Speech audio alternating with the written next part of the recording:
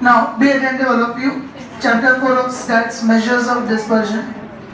Now understand the things. Suppose I say that average marks scored by Mudra in all the subjects out of 100 is 90. And I also say that average marks scored by Dev Patel in all the subjects is 90. Now, now if I have to select one of the two for some IQ competition etc. Are both of them equally preferable for me? Yes or no? Average marks of both are 90. Are they equally preferable for me or not? Yes? Who say no, raise your hand. I say no. Until and unless until and unless I have an idea about the marks of all the subjects I cannot take this decision. I'll give you one another example. Understand this? Let us say we are talking about cricket and there are two players. Maintain silence. Okay, Kohli. Dhoni. Dhoni, Dhoni. No, not Dhoni.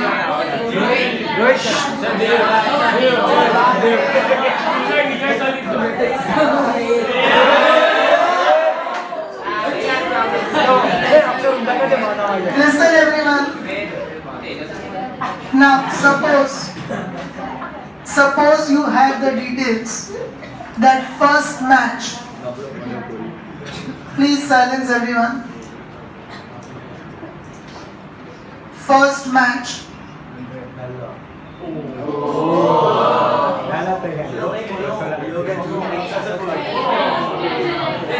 Yes, sir, everyone. Now to understand the concepts maintain silence.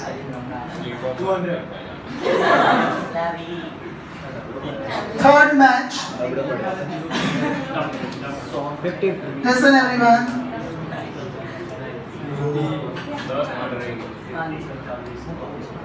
Fourth match.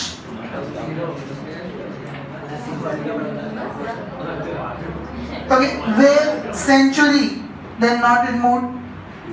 Zero, then again 90. Then white with, sorry, white with the white Anushka. Fight with Kohli's wife, wife Anushka in five minutes. Then fifth match, let us say 70 and 30. And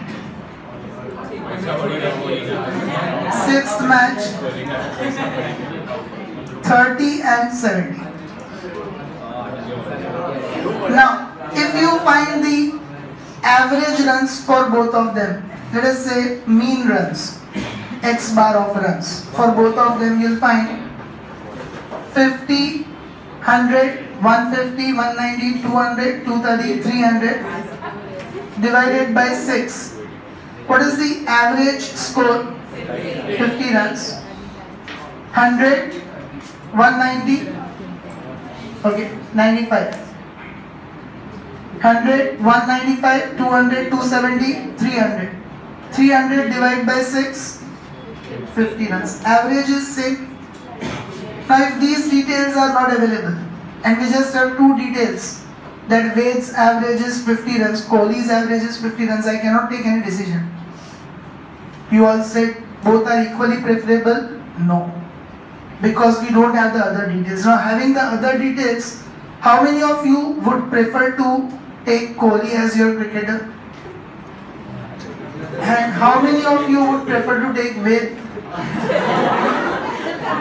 I will be in the category of Kohli. Reason, at least I know that if he goes on the field, then his runs will be somewhere around 50. But I cannot trust on him. Why I cannot trust on him? Because if he goes He may score 100 also, he may go duck also. So we, we cannot trust on Ved. Really he will score and come or not. But here we can expect around 50 runs for sure. Now why this trust is created for Kohli and not for Ved? Because the values are very close, they are scattered less, dispersion is this. Here the values are away, they are scattered more, dispersion is. So we never take the decisions only on the basis of average alone. Decision is always taken on the basis of average plus dispersion. So if I am given the information that average marks of Ved, sorry, Dev and Mudra are 90, but dispersion of Ved is 1 mark and Mudra is 5 mark, I would prefer to take. Because dispersion of 1 mark means he is scoring between 89 to 91. And dispersion of 5 marks means she is scoring between 85 to 95. So you never take the decisions on the basis of average alone, central tendency alone. Decision is taken along with central tendency plus dispersion. Okay, like here what is the average? How much is 50 away from 50? This is dispersion. How much is 50 away from 50? 55 away from 50? 45 away from 50? Don't say minus 5. Deviation is never negative, it is always absolute. Okay, both are at a distance of 5. How much is 30 away from 50? How much is 70 away from 50? What is the average dispersion? 5, 10, 30, 50. 50 divided by 6, 8.33. What is the average dispersion? 8.33. Means if he goes on the field, he will score 50 plus 8 or 50 minus 8.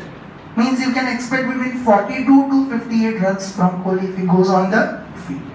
This is the concept of dispersion. But if you count the same thing for Ved, how much is 100 away from 50? 0, 95, 5, 70, 30. Now if you find the average of dispersion 50, 100, 140, 180, 190 plus 40, 230 divided by 6. So 38.33 means if he goes on the field 50 plus minus 38 means he will score somewhere from let us say 12 to 88 anything can be done by him. So we cannot trust him. Definitely we will prefer to go with so you never take the decision on the basis of average. Average of two persons may be same. But then more important the decision lies not on average it lies on even if Kohli's average was less than with say 48 runs, but with a dispersion of only 8.33, still we would prefer to go with Kohli. Did you understand this portion everyone? Any doubts with it? So what is dispersion? Average scatterness. Repeat. Average scatterness From measure of central tendency. from measure of central tendency. Like here central tendency x bar is 50 and what is the average scatterness from 58.33? Here the average scatterness is 38.33. Did you understand the concept of dispersion everyone? Okay, once again, what is dispersion? Average scatterness from the central tendency. Okay, further if you compare one more thing, then do it on calculator 8.33 divided by 50 into 100. 8.33 divided by 50 into 100. 16.67 percent. And this one, do 38.33 divided by 50 into 100. 38.33 divided by 50 into 100 means Kohli's dispersion is only 16.6 percent of its average, whereas Ved's dispersion is 76 percent of its average. Much dispersion. Dispersion is very high. Did you understand this concept, everyone? So first write down the meaning. Okay, write down. dispersion means dispersion means average scatterness of all the observations a measure of understand this now there are two different types of measures we are going to study. Absolute. And the other is relative. Now what is the difference in absolute and relative understand it see the dictionary meaning of absolute means non-negative. Like I said how much is 55 away from 50 5 and how much is 45 away from 50 5 so 5 is called the absolute difference. Okay you will not say minus 5 if I say what is the distance between Subhanpura to Alkapuri? 3 kilometers suppose. Then what is the distance from Alkapuri to Subhanpura? 3 only you will not say minus 3 so what is that 3 that is? Absolute. Okay so absolute dispersion actually is what it is expressed in same units. It is expressed in same units. So what is that absolute dispersion 8.33? What are the units runs? The units here are as runs. All the figures are expressed in runs. 50 runs, 45 runs, 30 runs. And this dispersion is also 8.33 runs. Did you understand it? So what is absolute dispersion? It is expressed in same units and it is always taken as non-negative. How do you write the non-negative values? Modulus. Okay, the sign used is modulus. Did you understand this everyone? And what is relative dispersion? Relative means comparison. Relative always means, put your pens down, comparison. How can you compare the two not with absolute dispersion? Like here, for example, if I say that the mileage of the car is 2 kilometers deviation or dispersion. It means sometimes it gives 2 kilometers more, sometimes it gives 2 kilometers less. Now, you cannot compare two cars with that. Suppose you compare one car Mercedes, you compare another car Maruti. Both have absolute difference of 2 kilometers in mileage. You cannot compare. Why? Because you don't know 2 kilometers from what. Now, if I tell you that Maruti's average is 26 kilometers and deviation of 2, means the average is you can say mileage is 24 to 28 kilometers. 26 plus minus 2 and Mercedes average is 8 kilometers and deviation is 2 that means 6 to so what is this comparison relative dispersion? Relative dispersion means comparison is done from a measure of central tendency. So how do you find this relative dispersion? Absolute dispersion divided by some measure of central tendency on the basis of which it is obtained. Absolute dispersion divided by central tendency on the basis of which it is obtained. Like we did here. How did we get this 16.67%? 8.33 divided by 50. What is 8.33 absolute? And divided by 50 is the central tendency average. Again, how did you get this 76.67, 38.33 absolute dispersion divided by 50 that is central tendency. So how do you get this relative dispersion? Absolute dispersion divided by central tendency. And secondly, it is not expressed in same units, it is free from the units of measurement. Free from the units of measurement means, what is this 8.33's units? Runs. What is this 38.33 units? But this is an absolute number, it's in percentage. Either it's an absolute number or it is in percentage. Will not say 16.67 runs. Will not say 76.67 runs. So relative dispersion is always free from units. And how is relative dispersion used in comparison? Did you understand? If you want to compare the two things, then you use the concept of relative dispersion. Any doubts with that? All are clear up till here?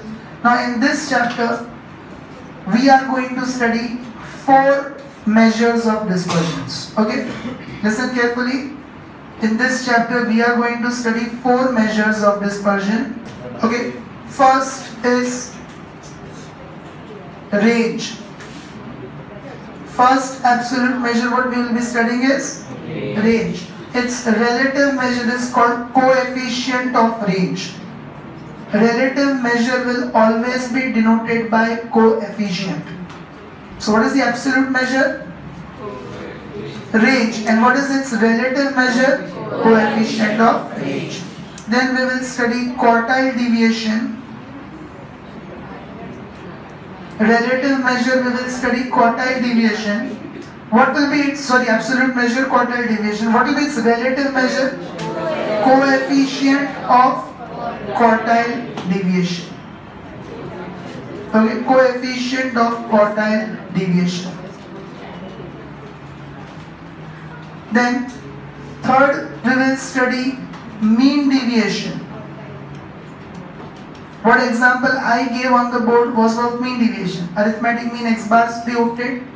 All the observations deviation we obtained from x bar. And what will be its relative measure? Coefficient of mean deviation. And the fourth one we will study standard deviation. This is the most important of all. First three will be over in one one lecture each, and the last one alone will require three four lectures. So standard deviation and its relative measure will be coefficient of standard deviation and also there is a connected measure with standard deviation which is called variance.